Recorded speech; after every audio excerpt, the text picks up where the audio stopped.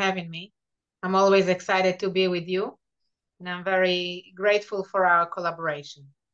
We picked the topic today because this week we mentioned 17 years since uh, United Nations Security Council Resolution 1701 that actually ended the Second Lebanese War. According to this resolution, in South Lebanon, in an area of about 20 kilometers from the Blue Line, uh, until the Litani River. In a minute, I will present a map. There shouldn't be any illegal military presence, and I want to show you uh, the exact phrase of the resolution. The question of who should enforce this resolution remained open since the uh, expression and the phrasing, as you can see in the resolution, is under different interpretations. But the bottom line is, if I'm taking us to the next slide is that the state of Israel is saying that the mandate was given to enforce the resolution was given to UNIFIL, United Nations interim force to Lebanon, while most of the world is actually saying that the mandate was given to the Lebanese government, as you can see in paragraph uh, F here, uh, to assist, and UNIFIL should assist the Lebanese government enforce the resolution. The bottom line is that nobody enforced the resolution. And this is the UNIFIL map. That's the Israeli-Lebanese border over here. You can see my clicker, right? Uh, Jen, can you see my clicker? Okay. And you can see the participating countries in this force uh, as well. Today, uh, the resolution said 15,000 soldiers. Today, these are 10,000 soldiers. Uh, and I want to discuss now what is truly happening in this area of operation of UNIFIL. In reality, nobody enforced the resolution.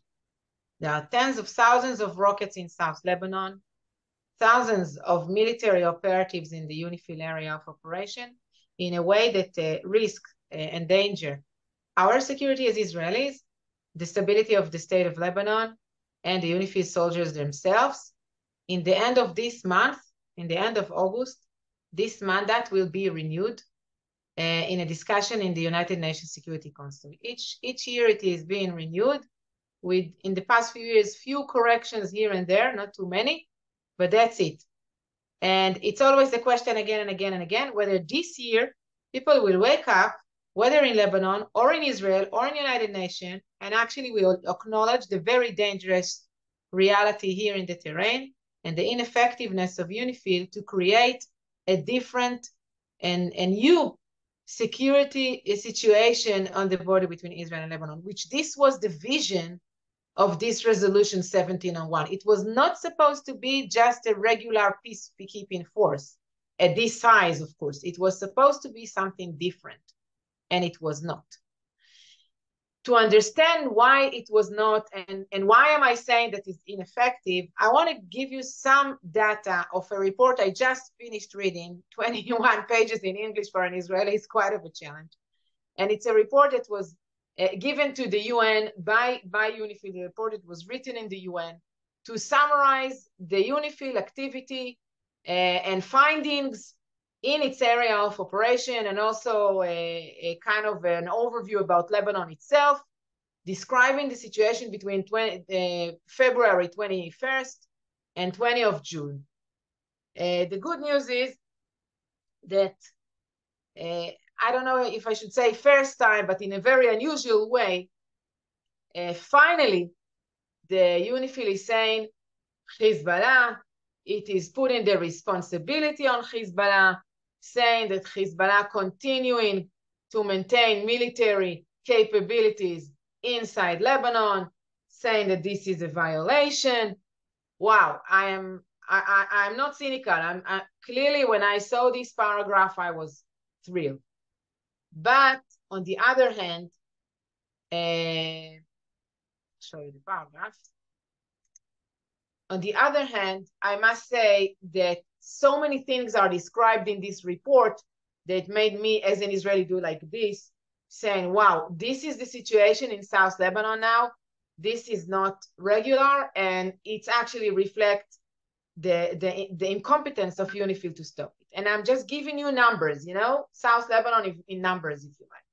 So in the report, it's written that there were four incidents of uh, weapons pointing IDF against Lebanese army and vice versa.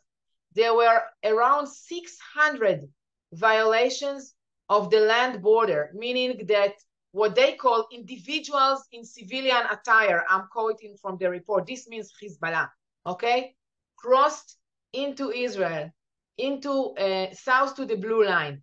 In more than 300 cases, these are described as shepherds, and I know that, that shepherds are not always innocent shepherds.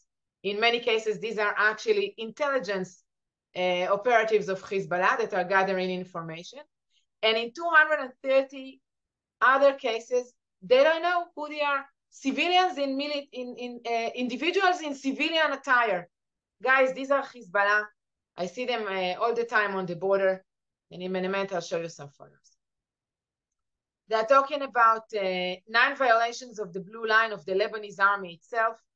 They are talking about uh, four individuals that were arrested by the IDF south to the blue line. They talked about an incident that uh, bullets were, were stolen from an IDF soldier that was working to build a wall on the blue line, south to the blue line.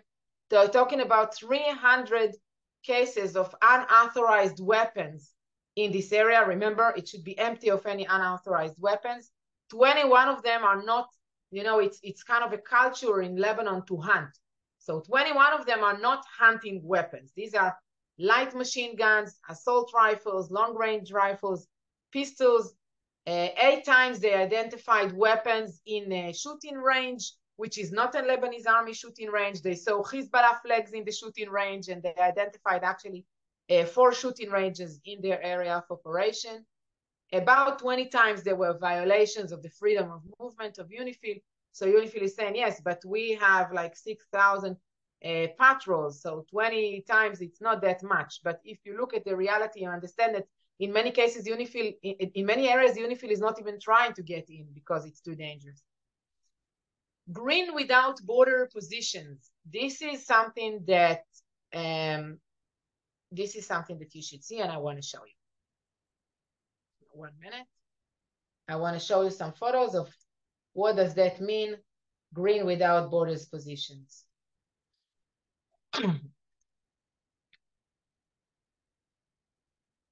this is a position, uh, a photo that I took from the border, one out of many. And UNIFIL is saying that there are six towers in various heights uh, on the borderline. These are Green Without Borders is an environment organization that is registered in the Lebanese government. But actually, these towers and only uh, 12 out of uh, more than 20 uh, positions on the border are having these marks of Green Without Borders.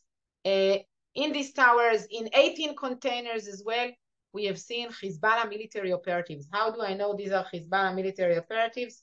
See for yourself. This person is standing on the position.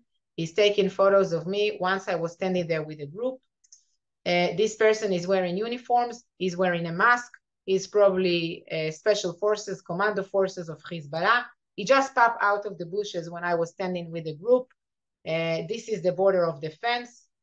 Uh, this person is wearing uniforms. He's taking photos of me. You get the picture. So UNIFIL is saying there are 18 uh, containers this is a, an example for the containers. By the way, this specific container is placed at the kidnapping point of 2006, where these two soldiers were kidnapped, and afterwards, this was the reason that Israel actually uh, for for the second war with Lebanon. Um, and you can see the the poster of Green Without Borders on the container. So 18 containers, six watching towers, uh, 19 what they call vantage point, uh, which is probably the photographer like this. It's it's a, a, a place where you usually when you go there you see the photographer, and this is Hezbollah kind of everywhere we go. The UNIFIL is saying that in some of these places there was there were limitations of the freedom of movement. What does that mean? It means that when they try to to to come near to these positions, they were blocked, stoned, their cameras were taken, and they, they were not enabled. In some of the okay, in one of the occasions, it was a container next to a UNIFIL position, so UNIFIL couldn't even approach to the position. In some of these infrastructures, UNIFIL saw uh, CCTV uh, cameras. These are not environment organizations. This is a civilian cover for Hezbollah military activity on our border, and UNIFIL understands that. Another very interesting thing, UNIFIL find out for what they called opening in the ground. Guys, I want to remind everybody, a few years ago, Israel found border crossing tunnels from Lebanon into Israel. And now UNIFIL saw from above, from the helicopter that they fly above uh, South Lebanon, four openings in the ground, three very small. Uh, next to it, there were drilling equipment, and another one, uh, another big one, and these were all not far from the border. And UNIFIL is saying very clearly, even though the, uh, there were many requests from the Lebanese army, remember, uh, everybody says that UNIFIL should assist the Lebanese army carry out, carry out the resolution, and enforce the resolution. So though many requests from the Lebanese army for full approach to these areas, including the positions of Green Without Borders, the tunnels that I've just mentioned, the tunnels from 2019, those who IDF already exposed, uh, the openings are inside Lebanon. Everybody knows where the openings are. Uh, for shooting ranges to all these places, the Lebanese army denied the access from UNIFIL. Unusual incident, they are talking on a smoke grenade that was thrown uh, towards the IDF uh, that was busy in building the wall there. Uh, they are talking about um, a tent. Let's talk about the tent for a moment. Uh, Hezbollah in, in, in the beginning of May planted two tents south of the blue line in an area named Shebaa Farms. I'll show you a map in a minute. Uh, but what I learned from the report for the first time is that actually these tents are positioned in a place that was uh, close to UNIFIL position and it uh, prevented UNIFIL from approaching to its position. So eventually one tent was removed. They saw CCTVs in these tents. They said they saw these tents are manned. IDF published photos that these men are armed but UNIFIL didn't relate to that. UNIFIL requested from the Lebanese army to remove the tents. One is went down, the other one is still there, as far as we know. Uh, the report, as I've said, is talking about the situation in Lebanon in general, and they talk about uh, a military training that was carried out a few months ago in Lebanon, not in the UN area of operation, that actually exemplified the military capabilities of Hezbollah against Israel. It was published all over. We also wrote about it. It is actually a violation of another UN Security Council decision, 1559, that was issued after the Hariri assassination and called to the disar- among some other stuff to the disarmament of uh, Hezbollah um, I want to show you a video uh, of another uh, of another uh, training of another training of UNIFIL. There we are. Uh, of another training of Hezbollah, 30 second video that we that was published in the TV in South Lebanon Okay, can you see that? Okay. What you see in the video, it looks like uh, these are Hezbollah military operatives, but if you look at their guns here, you will see these are paintball guns. It looks very funny. Um, it's just, they are just playing. But actually, it's not exactly like that. If you see the Jeep, now somebody is pushing somebody to the Jeep. This is training for kidnapping, and he has a real Kalashnikov. He is the real guy that we're interested in. Uh, this training, you see the flags, Hezbollah yellow flag, Palestinian flag. Uh, this training is next to a UN position. Guys, when I stand on the border with your groups, I see this UN position. Okay, it's just around, it's less than 100 meters from me. So the training took place on the Israeli-Lebanese position next to a UNIFIL, and it is not even mentioned in the report. Um, what can I say? Clearly from the report, from everything I presented, the situation is very tense. I want to, but but everybody is talking. If if you read a little bit in the newspaper about Israeli-Lebanese border, everybody is talking about provocation. This is the term that is now being used. Hezbollah is making provocations. There are provocations, provocations. Look, when I celebrate a Jewish Passover at home and I have uh, 36 rockets above my home, this is not provocation. This is a terrorist attack. Okay?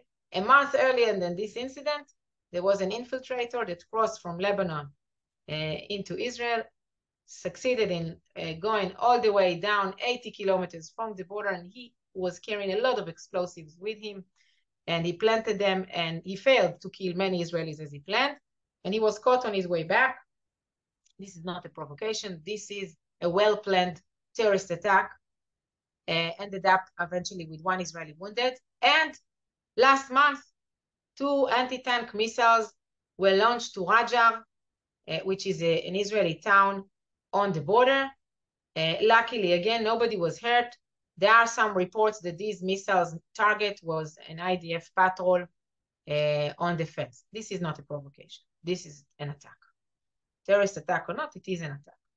So actually what I'm saying is that in the past two years, we understand that Hezbollah wants escalation. Maybe Hezbollah even wants war. We don't know exactly. But we understand that Nasrallah, the leader of Hezbollah, is willing to take more risks on the blue line to bring achievements to Lebanon. Uh, I can say a year ago with the maritime border dispute, and I'm not going to get to all the details about the maritime border dispute, uh, Nasrallah said it's either an agreement or a war, and Israel made a concession, and we got an agreement. We got the gas. That's the good news. The bad news is that we we made a bad message to Hezbollah that it works. If we, you threaten war in Israel, there will be concessions. Um, and eventually, and by the way, within a few months, we will know whether there is gas in the Lebanese side as well. I hope they, I, I, truly hope they. Now what we see is that Nasrallah is uh, trying to get achievements on the uh, land border as well. And I want to explain what I've just said. This is very important. When Israel had withdrawn from Lebanon, uh, the United Nations acknowledged the withdrawal, the Israeli withdrawal from Lebanon, but the Lebanese said, no, we have reservations, which are marked in red in my map. We have reservations, areas, meters, by the way. It's, it's meters, sometimes tens of meters, that's it. Uh, these are areas that we don't think that uh, Israel had withdrawn from, and the UN marked the border in the wrong place. One of these locations is the one that you see in the photo, which is a town named Ghajar. Remember the anti-tank missiles? They were launched at this town. This is a town that if you look at the blue line, the UN marked the border when we had withdrawn in the middle of the town. It means that out of 3,000 uh, Arab, by the way, Arab citizens of Israel living in this town, half of them are now, one morning they found out they live in Lebanon. This is how they tell the story, by the way. Uh, they are saying we are not Lebanese, we have an Israeli uh, citizenship, and if ever, we are Syrians. Why do they say we are Syrians? And this is a complicated issue, but I want I want to talk about it. You see the the the black line in my map. Okay, this area, including this town, was taken from Syria along with the Golan in 1967. And that's why they are either Syrians or Israelis, but they are definitely not Lebanese. So this is what they're saying. Nobody exactly understand how the border was marked in the middle of the town. There are different versions of that. The bottom line is Hezbollah is saying very clearly, you want us to take off the tent? No problem. Uh, uh, stay out of Ghajar. Withdraw from Ghajar. Now, it is clear to everybody here that this is impossible. It's a humanitarian issue. And the next day, if we will withdraw from Ghajar, these people will be dead. As simple as that. Nobody is going to spare them.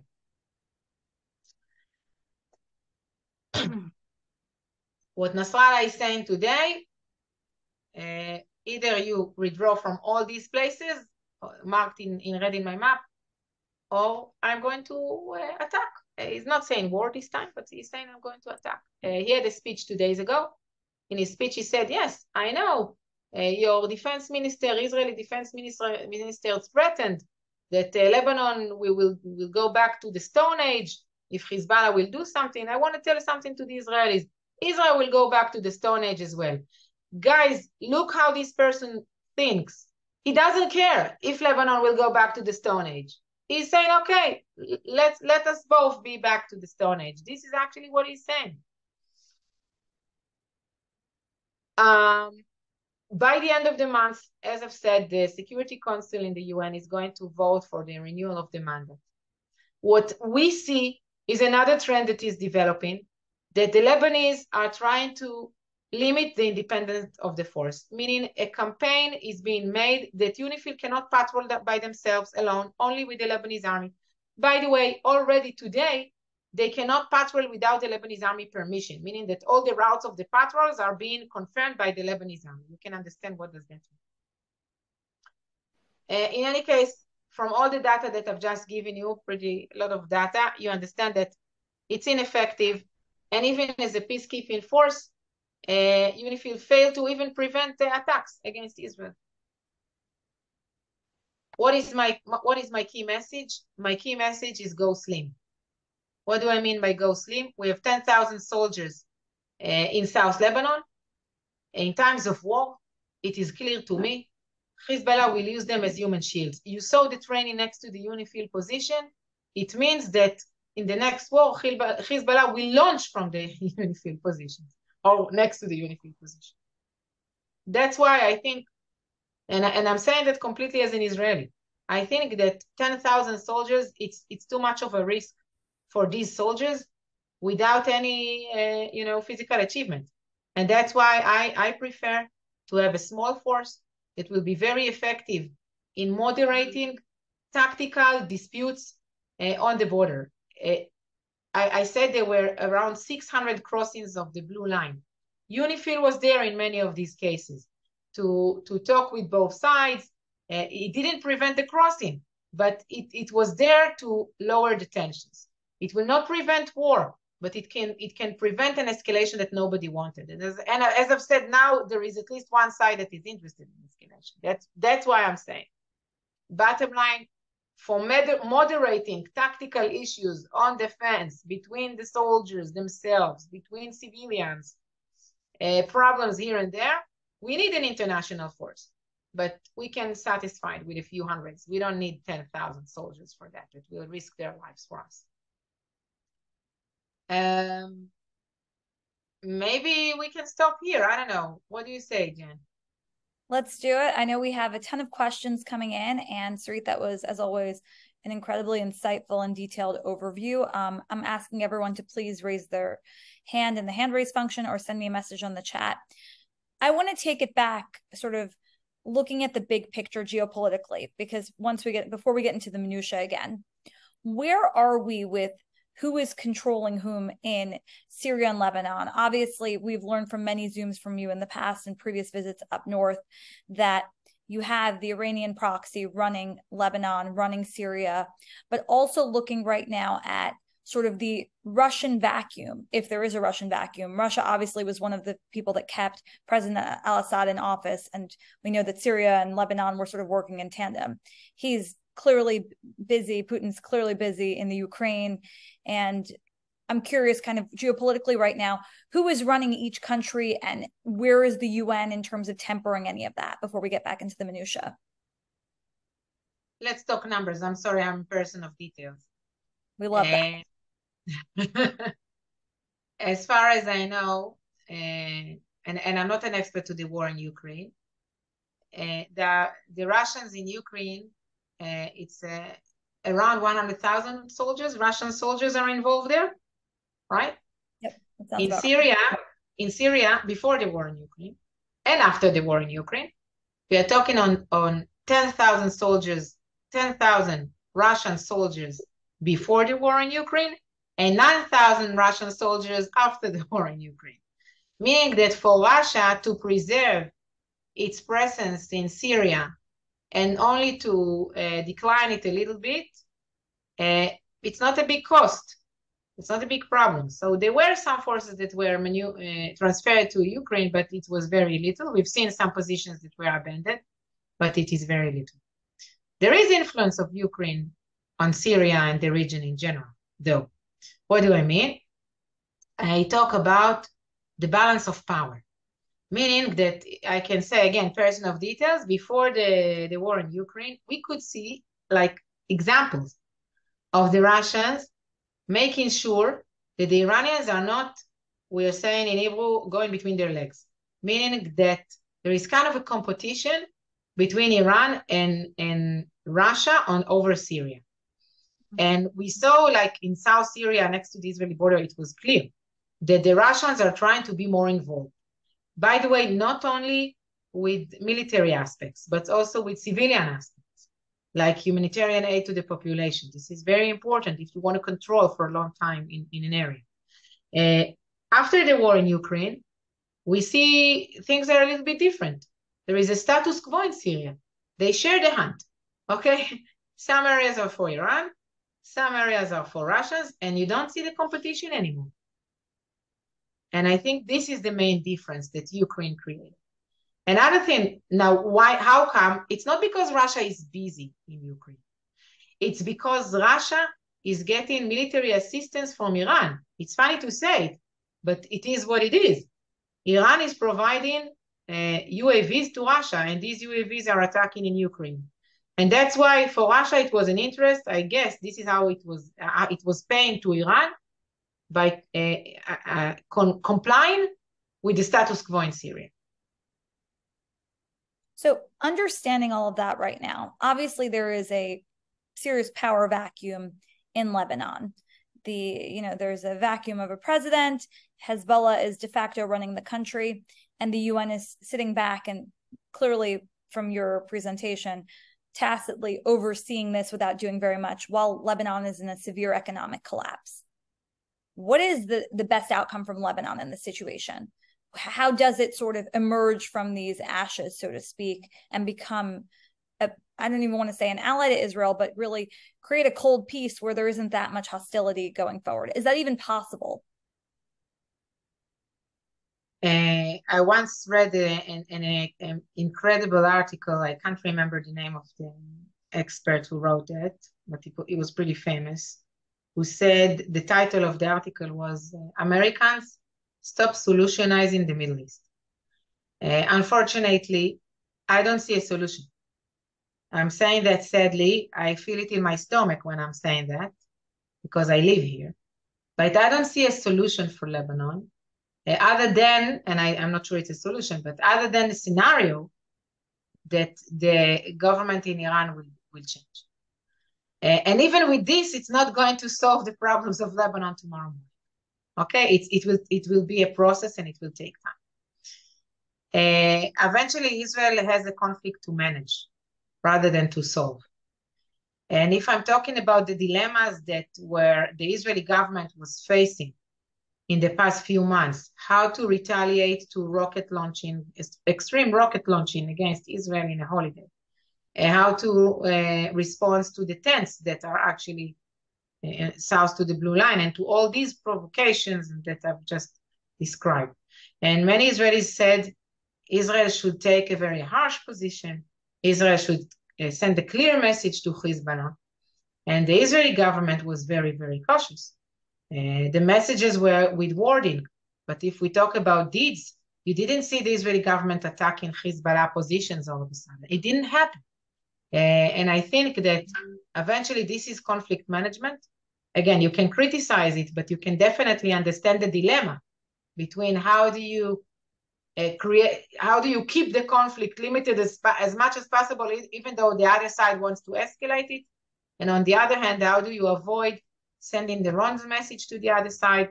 And how do you uh, prevent, you know, we, we cannot 100% prevent these, these, these attacks. It is clear to us, by the way, as Israelis. So how do you send a message that you know uh, will will make them understand that it's not profitable for them? And it's a huge dilemma, and I'm not sure we found a way. I'm I'm telling you, uh, I'm not sure we found a way. You heard Nasrallah, which is saying yes. Lebanon will go back to the Stone Age, okay, but Israel will go back to the Stone Age as, as well. He doesn't care. Mutually assured destruction, I think, is the sort of colloquial term of how to put it. So, knowing all of this, and obviously Lebanon has been rife with civil war for so, quite some time. Where is the population on this? We have a question that I'm going to read it out loud. Considering the terrible economic situation in Lebanon, there's been speculation that there is a substantial population who wants to join the Abraham Accords. Obviously, this is optimistic. If Israel can eliminate the Hezbollah threats in the south, which will substantially reduce the influence that Iran has in Lebanon, would this be feasible, especially knowing that the Gulf Arabs would clearly be thrilled to have an ally in the, in this fight? Is that a realistic outcome? What is Lebanon? To answer it, we both know, right? What is Lebanon? what is Lebanon? Who are the Lebanese? This is the biggest question. By the way, it's a question mark. It's uh, you know what are who are the Lebanese? The Lebanese are Hezbollah. Many, I don't know. Many Lebanese are against Hezbollah. I can't even say the numbers. We know there are about four and a half million citizens of Lebanon, maybe a million or two more uh, Syrian refugees. Who are these citizens of Lebanon? Due to American assessments, half of them are Muslim Shiites. Today, we don't see meaning, uh, I wouldn't say meaning, strong opposition within the Shiite population of Lebanon against Hezbollah. Even the second party, the second Shiite party in Lebanon, in elections, they ran together. We see Hezbollah gradually taking over every system in Lebanon. So even if there are Lebanese that are interested in what was just said in relationship, whatever, Abraham Accords with Israel, these Lebanese are not in the key positions today to make any change. Lebanon today is is it, it doesn't have a president. The government is not an elected government because they couldn't create a coalition. Um, the Hezbollah is a member of the Lebanese parliament and the Lebanese government. One of the main positions in the government is taken by Hezbollah. This is the minister for public works or transportation. It sounds like nothing. He's responsible for all the entrances and exits of Lebanon. This this means that all these weapons that is coming into Lebanon uh, is he he's approving that. He's enabling that. He puts the Hezbollah in, in key positions around it. In Hariri airport and in the land uh, border crossing where a truck probably, we don't know for sure, crossed from Syria just last week. There was a road accident in the middle of a Christian town. What happened following that? You saw cross shooting between Hezbollah and the Christians in the town. It's not a civil war. Nobody's speaking about a civil war after this incident. We checked that in the social media. And and Hezbollah is, is there. Hezbollah is not only in South Lebanon. Hezbollah is in South Lebanon, in areas of Beirut, and in the Bekaa Valley, uh, areas where Shiites are living. And that's why to talk about people in Lebanon that are interested in the Abraham Accord, I would love to speak with them. But I'm not sure they have enough power inside Lebanon to create this change. Absolutely. So I want to go, since you mentioned this attack in the Christian town, I want to read a question I just got in the chat and forgive my pronunciation. After the Khaled Christian town incident, a truck full of arms heading to the southern Palestinian camp of Ain el Helwa overturned, and Christians and Hezbollah fought with arms. Uh, Nasrallah threatened Lebanese Christians in Israel. Can these threats be empty threats? Can Hezbollah profit from the lack of president vacuum and show his bravado and strength to send missile, missiles towards Israel and facilitate and give opportunity to Palestinians to do so? And by the same token, scare the Lebanese Christians? And where are the Druze in all of this, and how are they reacting? So, if somebody had a question. I'll start from the end. The Druze are uh, taking care of the Druze. So, if uh, this truck didn't drive through the Druze area, it's not their business. Very simple.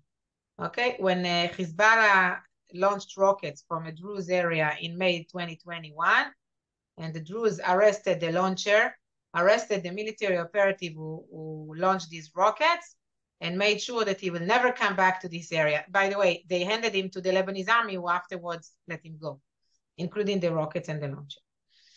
Uh, so that's about the Druze. Uh, I am not sure that the ammunition was heading to Ain al This was in social media. Uh, we don't know exactly where it came from and where it, this is heading. But definitely there is collaboration and there is involvement of Hezbollah in areas which it's not obviously to find it. In the refugee camps, we see Hezbollah was involved. By the way, there was there were fightings inside El El Khilwe just before this incident, uh, severe fightings with casualties as well between Fatah and Islamic uh, Jihad groups, and Hezbollah was the moderator, trying to stop.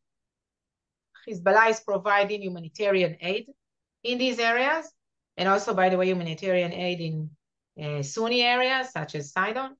And Hezbollah was involved in the mediation, meaning that yes, Hezbollah is trying to create contacts, and we've seen also meetings this week of Hezbollah with the head of the Islamic Jihad uh, of Nasrallah, with the head of the Islamic Jihad just this week. And these meetings, by the way, are happening.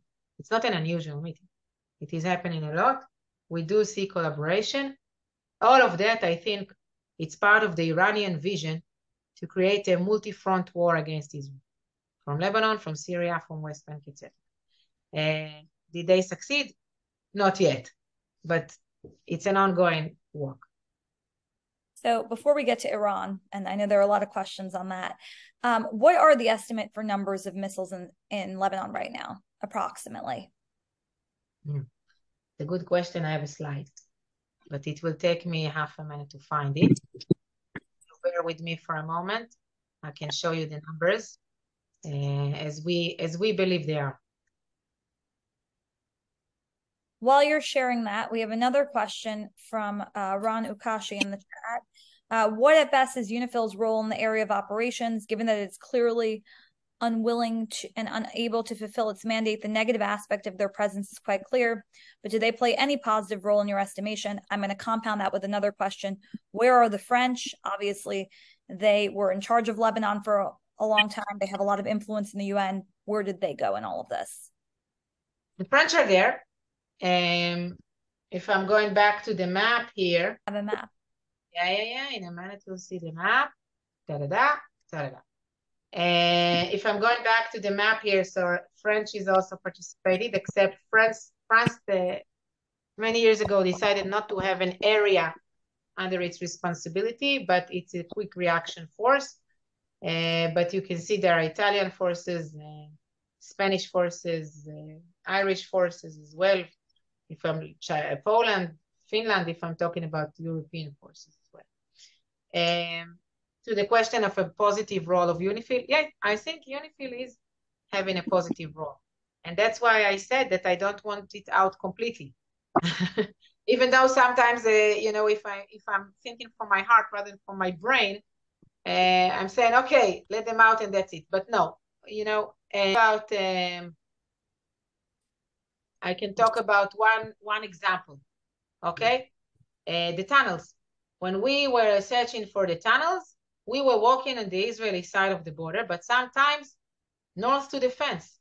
Uh, there are Israeli territories north to the fence, and UNIFIL was there to make sure that there wouldn't be any clashes between Israeli soldiers and Lebanese army. Hezbollah was there as well.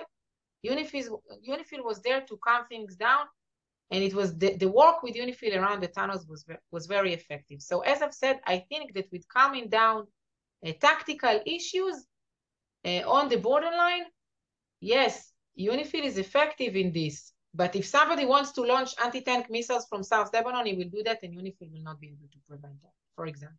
So just to follow up on the wall, we have a question from Carrie. Um, is the wall slash barrier completed? If not, when do you think it will be? And why is Nasrallah reporting about various issues in Israel? And is he trying to prove that he knows what's going on here? What is his agenda? Nasrallah knows exactly what's going on. And yes, most of the borderline between Israel and, and Lebanon until a year and a half ago, like almost all of it, was fenced. Now you are Americans. Small fence, rusty fence, old fence, not very impressive fence, a fence that that I don't know, you can just climb on it. You know, when you see this fence, you say, okay, is this a border of tension? How come? And then Israeli government decided to build the wall. Actually, it took it a few years to allocate the budgets. And when we got the budgets, you see an intensified working on this wall. Every day, I see more and more parts of the wall being brought, brought to the border and being uh, built over there uh, on the border. Evaluation, and it's really a rough evaluation I think that at least 30% of the border today is already walled. Uh, it's a border of more than 100 kilometers, around 110, 120 kilometers. Great. Um, just looking right now, everyone is asking me about Israel attacking Iran uh, by proxy of Lebanon. What is the probability of that happening? What is best case scenario for Israel? You mentioned earlier, you know, containment, not, you know, collaboration. What does the optimal outcome look like for you? And is it likely that we're going to see this type of in, you know, proxy war go on with Lebanon with Israel taking the first hit? No, Israel is not uh, interested in taking the first hit. that I think from our policy until now, with everything I've just described, and we didn't do anything, or we did very, very little, it means that we are not interested in taking the first hit. Uh, I'll tell you something. Yesterday, I was interviewed to some kind of a TV channel, and we talked about the chemical weapon uh, that uh, Syria is manufacturing, and th that there is an option that it also ended up in the hands of Hezbollah. And I was asked whether you know, is there is preemptive attack in this context of a chemical weapon in the hands of Hezbollah? It's it's a good question. I I don't know. As a simple Israeli, I'll put it this way: I don't know what exactly the red lines that were drawn in the Israeli cabinet meeting a few weeks ago, but somebody probably made a, a structure of of uh, pros and cons of uh, scenarios of the of if this will happen, we'll do that, and if this will happen, we'll do that etc. So I don't, but I don't think the the scenario is going to a preemptive war. I don't think that for now, uh, even when we speak about Netanyahu and the internal situation in Lebanon, in Israel, uh, Netanyahu, it, it won't be with his, within his interest because immediately Israelis will say, you're going to to a preemptive attack deliberately. So even if it will be justified, it will be difficult to convince Israelis, guys, you must understand, going to a preemptive attack, it means uh, casualties, either civilian or soldiers in Israel. And we don't like that. We'll, we will go to war if necessary, if we will feel that there is no other way. And, and again, Hezbollah is trying to drag us into this situation. No question about that. And then, you know, not to make this political, but I think people are wondering do you believe that if there are changes in the status quo of the government, you know, this government dissolves in Israel and an opposition government comes in, that there will be the same attitude towards uh, containment uh, towards Lebanon or whatever that looks like. Do you see any deviation in defense policy, or are most people sort of status quo as to where they stand on these border issues? Well, I believe that if there will be changes, they will be in the details, in the small details, rather than the global strategy. Eventually, the strategy of, of not deteriorating into war, postponing the war as much as possible, I believe that Gantz, Lapid, Netanyahu are all at the same page in this. If you're asking a, a question uh, about whether Lapid or Gantz would have taken the tent and you know, instead of going to the diplomatic uh, path, it, it's an option. Whether Netanyahu uh, would make different decisions around the maritime border, I'm, I'm not even sure. Uh, eventually, when we speak of extreme scenarios, all our prime ministers want, nobody wants a war in his shift. You know what I'm saying? No question about that. And that's something that we obviously are strongly hoping for peace. I think we all are what what has Israel learned, or what have you? What is are your takeaways from the 2006 war that would be applicable to any type of hypothetical incursion going forward? And where would UNIFIL fall in that spectrum?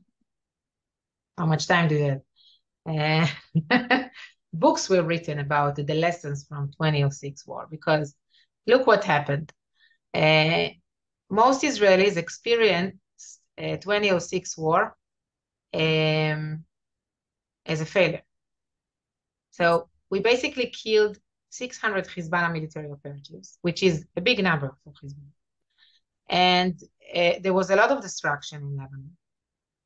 But Israelis experienced this war as a failure. Because until the last day, Hezbollah continued to launch rockets to Israel. And there were casualties among the enemy. So now, and, and when we speak about the performance of the IDF, we were not satisfied enough when we speak about the decision-making process in the government, it was not good enough. The first thing we have learned is that the IDF must be prepared for war. The IDF in 2006 was not prepared enough. Well, you're never prepared enough, but it was very busy in West Bank. I feel bad saying that because IDF today is also very busy in West But the IDF today is very different from what it used to be. First, intelligence. Uh, the technology completely changed. Intelligence completely changed. We know much better than we used to about where the rockets are. Second, uh, collaboration between different forces air force to ground force to intelligence to special forces. All of that is something that is uh, uh, conducted today in a different way. And of course, there were a lot of drills and exercises throughout the years to bring the army to a different place. Um, whether the government learned the lesson, I'm not sure because these are politicians. We all know uh, they are elected. Uh, you can never anticipate how exactly this is going to end. Whether when we speak about home front command, uh, as well here, I can say that, and Nasrallah also said that, we don't have enough shelters here. Uh, in a state of mind, you know, most Israelis uh, in the north, not in the south, in the south they are prepared because they experience the rockets all the time. But in the north, we are not prepared for war. Okay, I, I put water bottles in my shelter at home only last week. Uh, connected to phone line and internet only last week. Okay, until that moment I said, okay, sera, sera. Uh, we live in kind of denial up here in the north.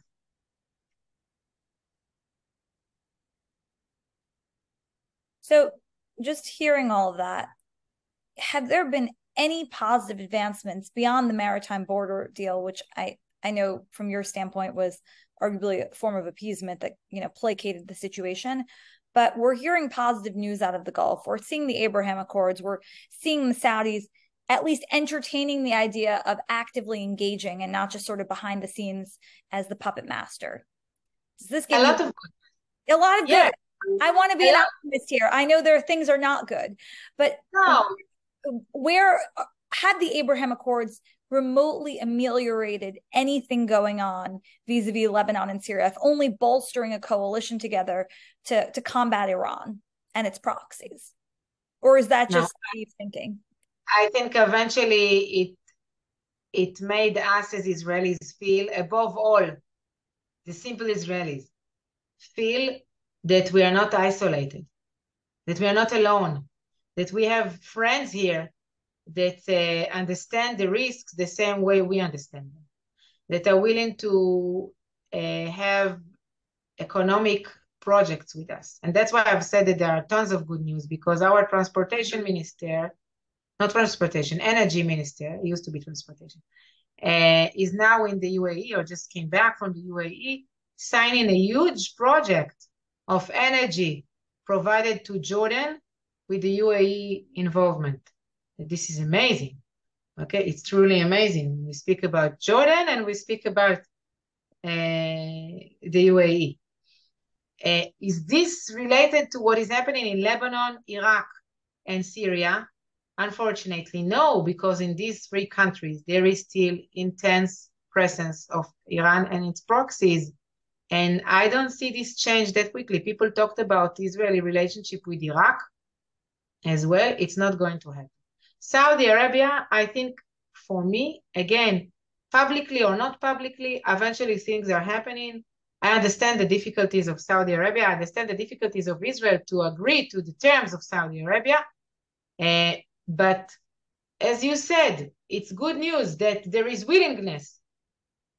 But I think all these countries understand that Iraq, Syria, and Lebanon are failed state that they need to manage the conflict with them or with Iran, the same as here. And and I ask, and, and again, maybe this is my naive optimism. Do you see any dynamic vis-a-vis defunding UNIFIL coming from any of these Abraham Accords countries, or is this an area that they don't want to touch?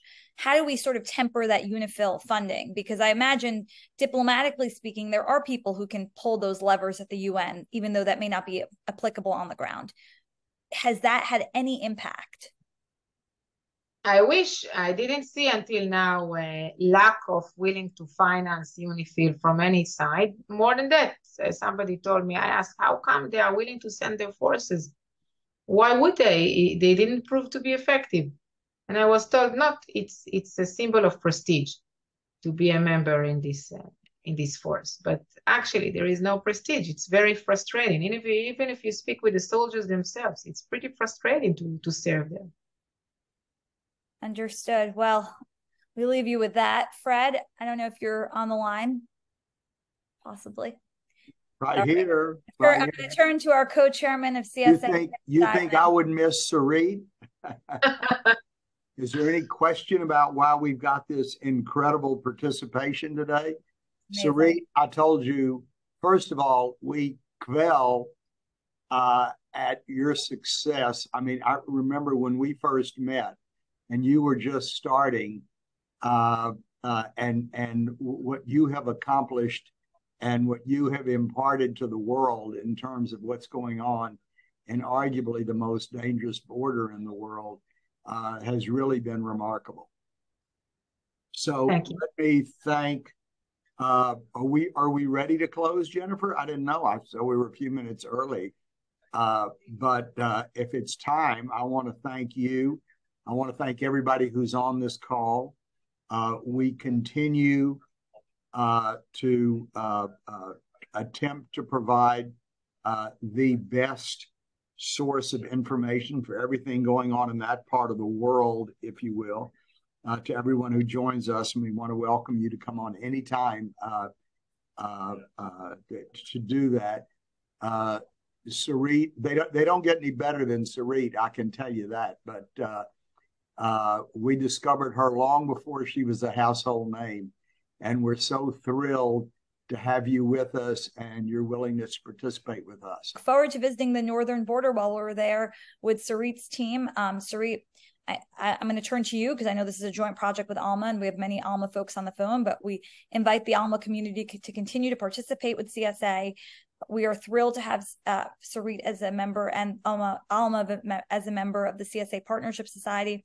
It's our first Israeli NGO that we've partnered with and we've been working with for a long time. We're just excited to be here. So, Sarit, I'll let you have the final word. Wow, I'm, I'm as excited as you are.